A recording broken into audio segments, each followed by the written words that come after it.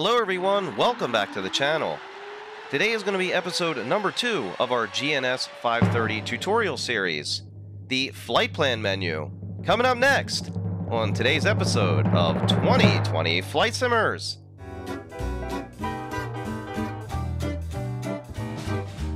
Welcome back everyone. So before we get started today, let's go over what you can expect in today's video. First, we're going to go over how to create a flight plan in the flight plan menu of the GNS 530. Then we're going to also talk about how to add your approach, as well as we're going to talk about the flight plan catalog and how to import a flight plan from your flight plan catalog. And lastly, we're going to talk about how to import multiple flight plans in the flight plan catalog menu. Now, if you have any questions along the way, please post those down below in the comments section and I'll get right back to you. And as always, if the video helps you out, hit that subscribe, tick that little bell, and smash on that thumbs up button. It is greatly appreciated. So with all that out of the way, let's hop into the GNS 530 and get the show on the road. Before we get to making the flight plan today, I just want to let everybody know that I'm going to be using some uncommon terminology here. I went over some of this in the first video. If you haven't seen it, I'll post a link below. Go over there and check that out. It's a basic overview of the 530, and I go over the terminology that I'm going to be using here. And the whole premise of that is to help somebody new coming into the 530 try not to be so confused about the menus and such. So I hope you understand when I'm not going to be calling these menus, and we're going to be using the term chapters. So what we're going to do to start our flight plan is to hit the soft key at the bottom labeled FPL, and that's going to open up our flight plan chapter in the GNS 530. Within that chapter, we have two pages that we can flip through, and we're going to be using the lower right-hand knobs to do that. To flip to the next page, we're going to scroll on the inner knob, and that's going to move us over to the flight plan catalog. And we'll get into how to input some of these flight plans a little bit later in the video. So one of the things that makes the GNS 530 different from the G1000 is that the 530 likes the flight plan to be entered in order.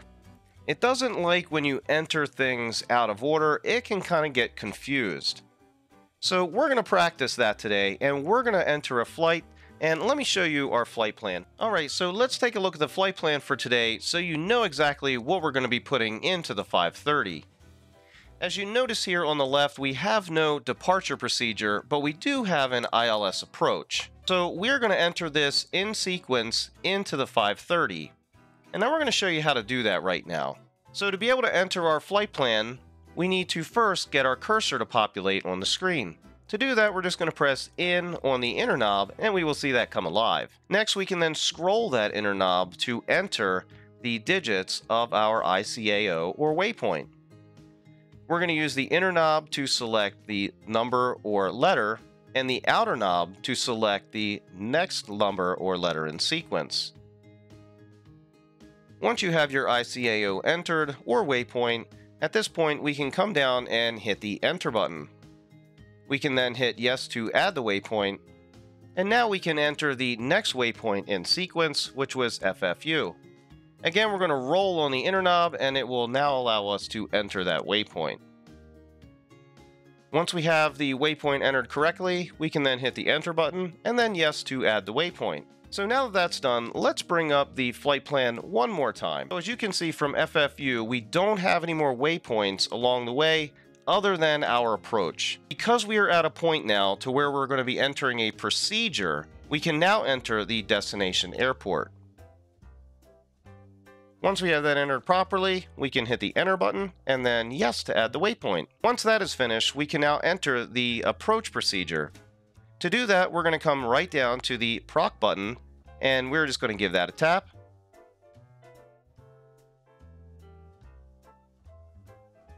And now we can select the approach. To select the approach, all we would need to do is to roll on the inner knob, and then we can use the outer knob to then move that cursor down to the approach we wish to choose. Once we highlight the one we want, we can hit the enter button. It will also populate that approach on the map over here to the left. We can pick our transition. Again, to choose that, we're going to scroll on the inner knob, use the outer knob to pick our transition. Because we are using FFU in our flight plan already, we're just going to pick that, hit enter, and then hit the load. And once you hit the load, it's going to bring us back to the main page of our flight plan, and now we can scroll through everything just to make sure it's all correct.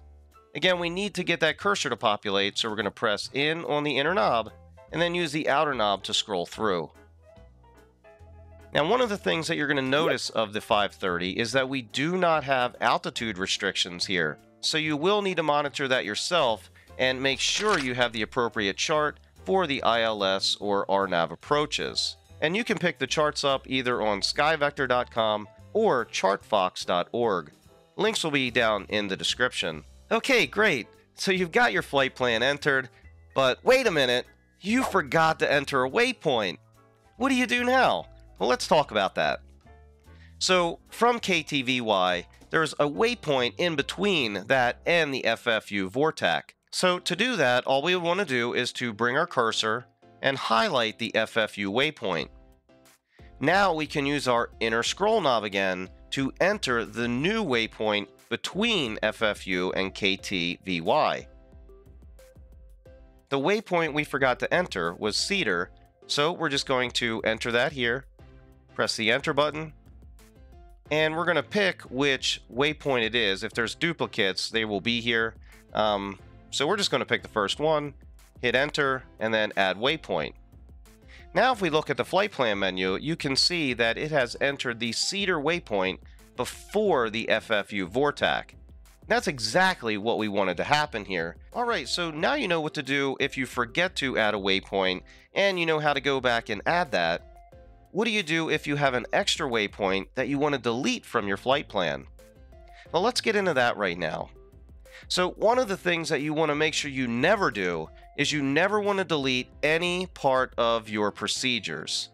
So you don't want to come down here and delete any one of these waypoints along the procedure. It will really mess up the 530. But if you have a waypoint before your procedure that you entered by accident, then let's show you how to get rid of it, and it's pretty simple. You just want to make sure that you have your cursor active, and then highlight the waypoint you want to delete. In this case, we're going to use the FFU as the waypoint. We're just going to come over here, hit the clear button. It's going to ask us, do we want to remove it? Hit the enter, and it's now removed that FFU waypoint. But notice it is still in our approach because it is part of the approach. To go back to our navigation menu, we could just hit the FPL button one more time, and now we can see the flight plan on our screen. To declutter, again, we're just going to hit the clear button. So as you can see, we are leaving KTVY on our way to the Cedar waypoint and then hitting the FFU on our approach. Now, one other thing that I did want to touch on, if you want to start over on your flight plan and you want to start back from scratch, all you need to do is to come over and hit the menu button, and this will allow us to delete the flight plan. We can also invert the flight plan, so if, if we get to a destination and we want to fly the exact same flight plan back, then we can do that as well here by just clicking the invert flight plan. We can scroll through these using the inner knob, and from this menu we can also select our approach, arrival, departure, so you don't necessarily have to hit the procedure button, you could also do that from the menu button. Now getting back to deleting waypoints, the same goes for approaches and departures. So if you want to delete this approach, you can do that one of two ways. You can do that from the menu, and you can go down to where it says remove approach, or you can bring up your cursor, highlight approach, and then hit the clear button, and then we can hit yes to remove the approach. And now as you can see, it got rid of all the approach waypoints on our flight plan, and we are now left with our initial departure airport, our Cedar waypoint, and our destination. Alright, so if anybody has any questions about page 1 of the flight plan chapter, leave it down below in the comments section, and I'll get right back to you. So now let's move over to page 2 and see what we have here. Now this is going to be the flight plan catalog and this is where we're going to be able to store up to 19 different flight plans. So this is going to be perfect for planning alternate flight plans, alternate destinations, alternate takeoff approaches, and any other flight plans you just want to have stored in here. So first let's go over how to activate any one of these particular flight plans. So to do that, we just need to get the cursor up on the screen. So we're just going to come down to the inner knob, give that a press, and that will highlight our cursor. We can then use the outer knob to scroll to the flight plan that we want to use. Once we highlight that, we can then hit enter, and then it will ask us to load the flight plan. We can then hit yes, and it will now populate our new flight plan over on the main flight plan page. Pretty cool, huh? If we decide that, well, I picked the wrong flight plan, all we need to do is to go back to page 2, hit in on the button, highlight the one we really wanted, hit enter, yes, and it will now populate that flight plan on page 1. To get back to that menu, you may have to get the cursor back or just wait and it will populate here for us. So that is another thing that if you have some of these saved flight plans, give it a couple seconds for it to load everything. It's not going to be instantaneous. Okay, great. So you can have up to 19 flight plans in your catalog. Whoop-de-doo! But how do you put them in? Well, let's talk about that. Now, one thing I did forget to mention, we are using the PMS GNS 530 add-on for Microsoft Flight Simulator. I'll post a link down below for that as well. And the best place that I recommend to get that add-on is through the community downloader. It makes it very simple to keep up with updates and it's a one-click install. I'll post a video down below Anyway, so let's get back to how to input these flight plans. All of this work is going to be done either in your community folder or wherever you have the PMS 50 GNS 530 add-on mod. Okay, so for most people, your add-on is probably going to be in your community folder. For somebody using add-on linker, you may have it in a different location. So you would want to open up your community folder or your alternate location and click on the PMS 50 GNS 530 add-on. When you do that, it's going to open up the contents of that folder and we're just going to look for the FPL folder. Once you find the folder, we can double click on that and in this folder is where we can input any of our flight plans that we want to have in our flight plan catalog of the GNS 530. To enter this flight plan, it's not as easy as just typing in some waypoints and letting it go, so you're going to need an alternate program to create it for you, unless you know how to write code, I guess. So these flight plans have to be entered in a PLN format. So you can either do that using skyvector.com or you can use little nav maps which I had displayed earlier. So let's go through a tutorial now on how to input your flight plan if you're going to be using Little Nav Maps. Alright, so now that I got Little Nav Map back up on the screen, I'm not going to go through the entire process of creating a flight plan. If you're unsure about how to create a flight plan with Little Nav Maps, I'll also post a link down below on how to do that. So once you have your flight plan input here, then we just need to export that to our desktop. So to do that, we're just going to go up here to File, and then before we export anything, we just need to come over here to the Export Options. And you want to make sure that all of these are checked. If not, it is not going to input certain waypoints in your flight plan. So it's very important that you come over here and check all of these. Once you have checked all of those, then we can come up here to Export Flight Plan as MSFS, and that's also going to export it as a PLN file.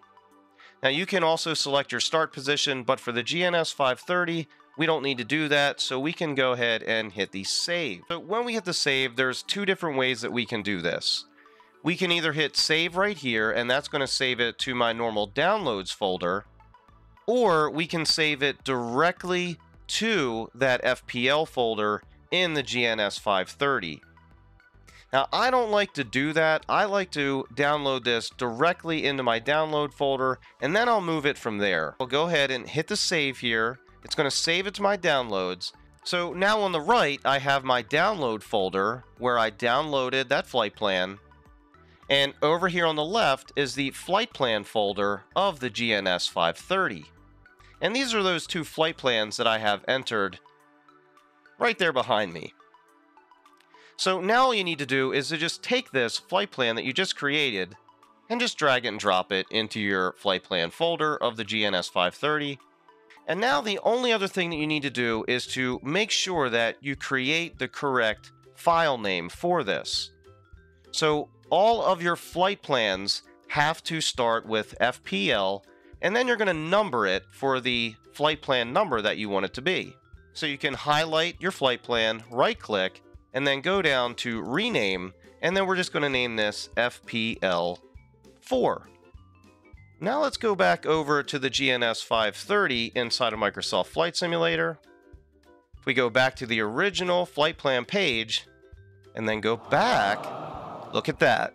We now have that FPL4 that we have just entered into the folder of the GNS 530. So as you can see, this is live, so you don't have to restart the simulator for these to take effect.